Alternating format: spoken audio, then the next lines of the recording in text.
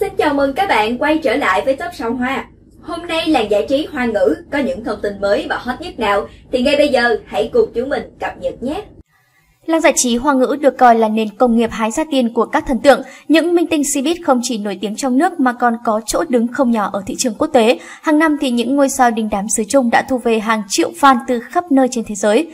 Mới đây thì trên mạng xã hội xứ Trung lan truyền một bảng xếp hạng với tiêu đề Top những sao nam nữ nổi tiếng nhất ở Thái Lan năm 2021. Và ngay sau đây thì chúng ta hãy cùng điểm qua những cái tên này nhé. Top 1 sau nữ sinh năm 80 đến 89 là Triệu Lệ Dĩnh. Lần này Triệu Lệ Dĩnh đã vượt mặt Dương Mịch, Tống Thiến và cả Angelababy để leo lên hạng nhất. Trong năm 2021, Triệu Lệ Dĩnh thoát khỏi hình ảnh ngốc bạch ngọt để thử sức với vai diễn cực cun ngầu trong bộ phim Ai là hung thủ. Trước đó thì cô nàng đã chiếm được không ít cảm tình của khán giả qua những vai diễn để đời trong bộ phim Sam Sam đến đây ăn nào, Hoa Thiên Cốt, Cung tỏa trầm hương, Sở kiều chuyện, Minh Lan chuyện cùng vô số các tác phẩm nổi bật khác. Bên cạnh đó thì mỹ nhân Minh Lan Chuyện cũng được biết đến là người phụ nữ trong sạch nhất Cbiz, đến Phương Tư Thông còn phải gật đầu công nhận điều đó.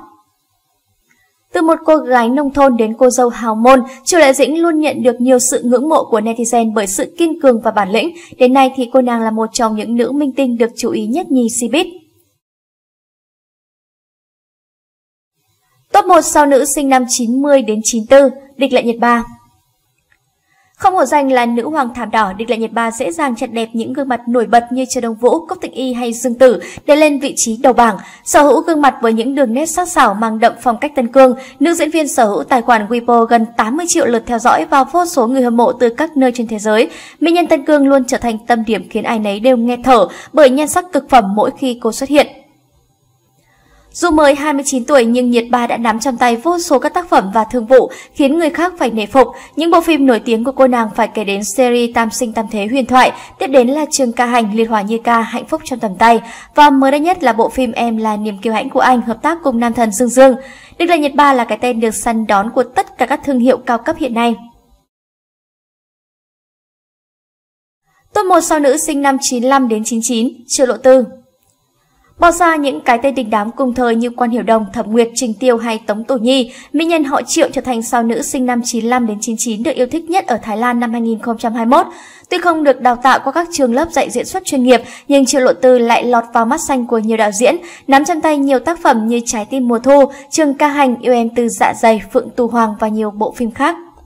Việc Triệu Lộ Tư càn quét các bảng xếp hạng nữ minh tinh gần đây đã gây ra rất nhiều tranh cãi. Phần lớn netizen cho rằng nữ diễn viên chưa có giải thưởng hay có tác phẩm tạo tiếng vang lớn, càng không đủ kỹ năng để tham gia các show giải trí, mà chủ yếu là livestream quảng cáo.